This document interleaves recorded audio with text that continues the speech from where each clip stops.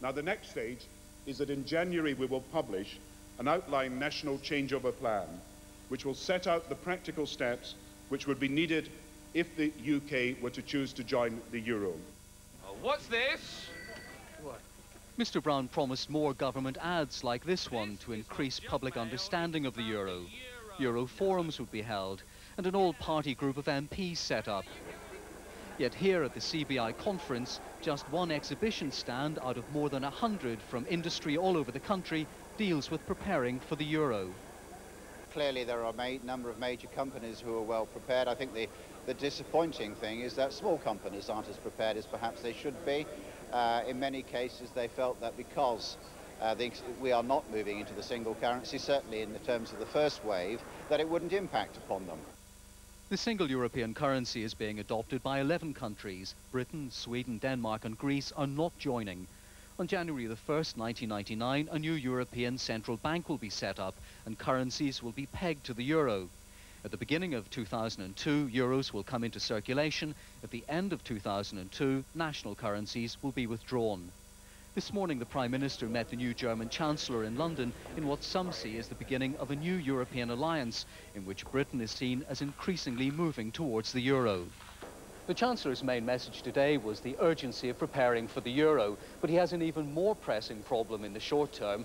Tomorrow in the House of Commons, he'll give his pre-budget statement in which he's expected to say that his forecast for economic growth will have to be cut because of the economic slowdown. John Draper, ITN, at the CBI conference in Birmingham.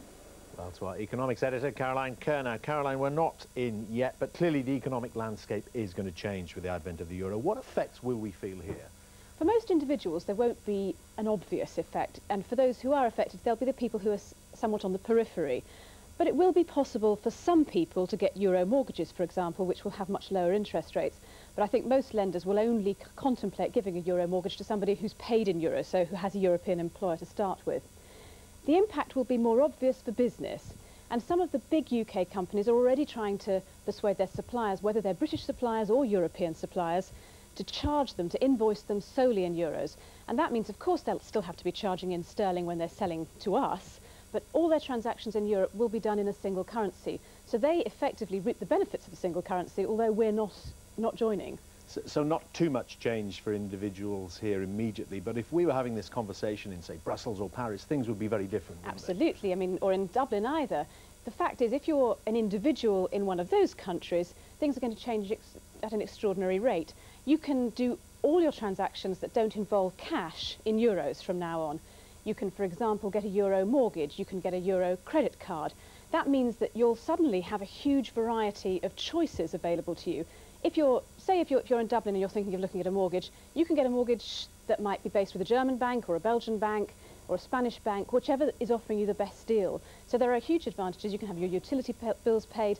And for most Europeans, there'll be a kind of long period when they can use all their kind of non-cash transactions in euros. They'll have to wait a couple of years before the euro comes into circulation as a cash transaction, but there's, there's still a significant difference to them. And just uh, more immediately, um, we've been talking about interest rates in the euro, but uh, we're expecting some uh, news on interest rates here this week, aren't we? Yes, absolutely. This is a terribly busy week in terms of the economy. The Bank of England meets again this week to decide what to do with UK interest rates. And of course, the Chancellor will be giving his pre-budget report to Parliament when he's expected to confirm that his forecast for economic growth has been revised downwards very sharply, as John Draper said, and it's expected also that he's going to signal his readiness to borrow to keep up the announcements of, of increased public spending on health and education.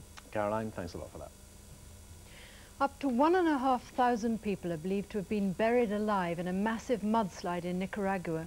Whole villages were engulfed when the slopes of a volcano collapsed in torrential rain in the wake of Hurricane Mitch. The storm is one of the worst ever to hit Central America. Our foreign news correspondent Paul Davis reports. Across Nicaragua, Honduras and El Salvador, it has rained non-stop for days, a torrent that has swept away entire communities. The storm they call Mitch is no longer a hurricane, but no less deadly for that. Its rains have washed away mountainsides, uprooting trees, destroying houses and claiming thousands of lives. Small towns and villages have been flooded or worse still completely buried beneath tons of mud. It's feared the heaviest loss of life has been suffered in the mountains of northern Nicaragua. Normally remote, now accessible only by helicopter after dozens of mudslides that have buried dozens of villages. The survivors, picked up by rescue teams, have said it was as if their mountain had exploded. A wall of mud crashing down onto the village, burying everything and everyone. Only a handful of people survived. There were similar tragic stories in El Salvador, for every villager picked from the floodwater or dug out from the mud, many others are still missing, the death toll mounting with every hour. Rescue efforts have been made almost impossible by the same deadly mud that has swept away road links to the devastated areas. Paul Davis, ITN. Here, fears are growing for the safety of a young woman who went missing after a night out at the weekend. Jennifer King, who's 22, hasn't been seen since she left Chasers nightclub in Bristol in the early hours of Saturday. The venue is just a few miles from where another woman, Melanie Hall, disappeared. Lily people. The charity has been criticised for using shock tactics, but it says the real scandal is that so many older people are still dying in Britain during the winter. Philippa Young reports. In Liverpool this lunchtime, 85-year-old Ron Sanford and his wife Rose, who's 79. Cold weather payments will help with a contribution to their heating bills, but they're preparing for a cold winter. Uh, the coalman's going to come and he's going to want uh, 35 or 40 pounds for a, a, few bags of coal. I mean, the price of the uh, of the fuel is uh, is uh, is a problem. So you've got to watch what you're doing with your money.